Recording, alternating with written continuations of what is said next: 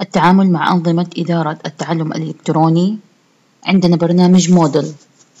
هذا هو البرنامج الإصدار الثالث. نعمل استخراج للبرنامج في السي extract files.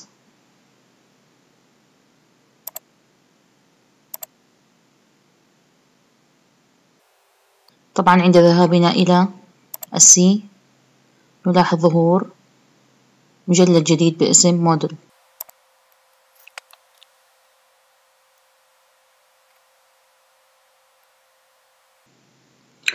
وبعد انتهاء الاستخراج نقوم بالدخول على مجلد Moodle.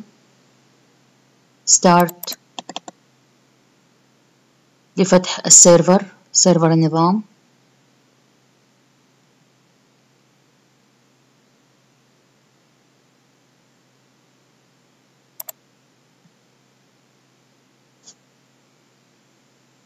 ثم نقوم بفتح موقع المدرسة التجريبي.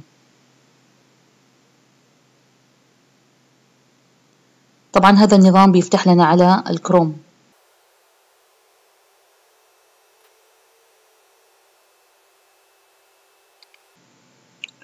هذا هو موقع مدرستنا التجريبي.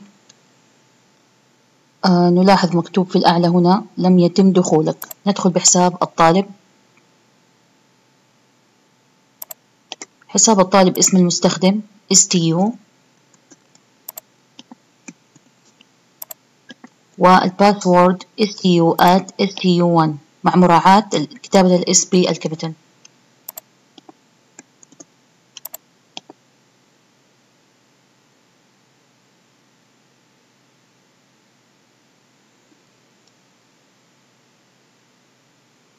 طبعا ما يحتاج إننا نحفظ كلمة المرور على المتصفح. نتعرف على الواجهة الرئيسية. هنا عندنا صفحة آه، روابط للتنقل.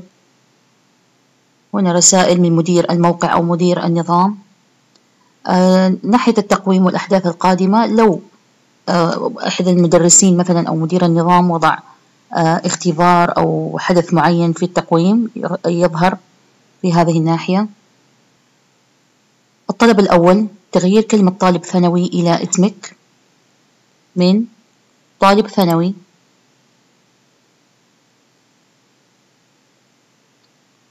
حرر ملف سيرتك الذاتية.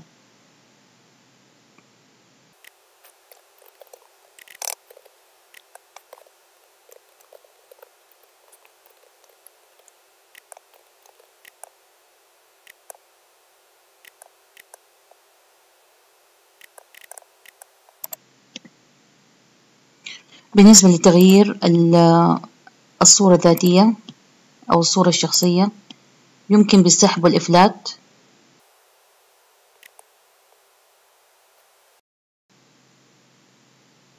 الطريقة الأخرى من صورة جديدة رفع ملف اختيار ملف ثم البحث عن الصورة المراد تحميلها.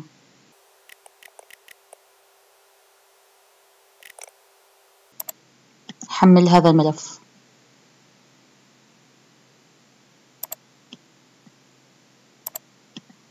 هناك بيانات إضافية طبعا حسب المطلوب الاهتمامات مثلا.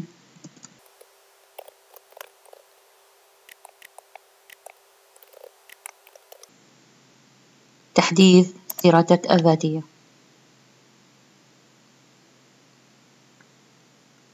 طبعا نلاحظ ظهور رسالة في حال تغيير البريد الإلكتروني. تغيير كلمة المرور.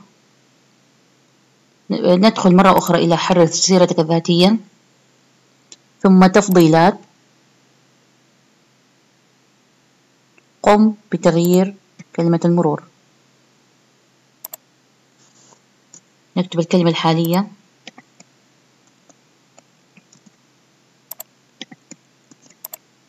كلمة مرور الجديدة ولكن نراعي هذه الشروط. أن تكون من ثمانية خانات تحتوي على أرقام حروف صغيرة حروف كبيرة ورموز.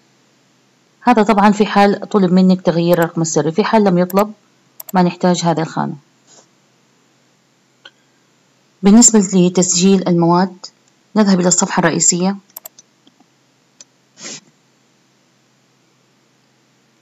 تصنيف المقررات الدراسية. عندي بعض المواد على حسب المطلوب منك. تقومي بتسجيل المادة مثلا حاسب.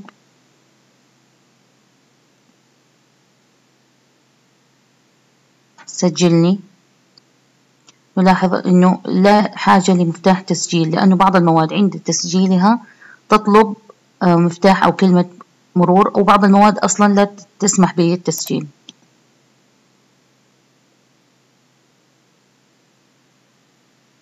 هنا عندي كل محتويات مادة الحاسب من كتب حاسب من اختبارات من تمارين من ملخصات. هذه هي كل ما تخص المادة. للإطلاع على منتدى أخبار المادة ندخل إلى منتدى الأخبار. هنا عندي نقاش مثلا ما بين المعلم أو آه، الطلبة أو ما بين مدير الموقع والطلبة.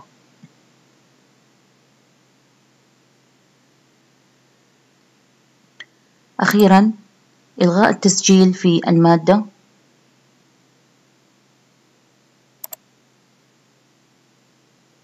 نرجع مرة أخرى إلى حاسب ثالث.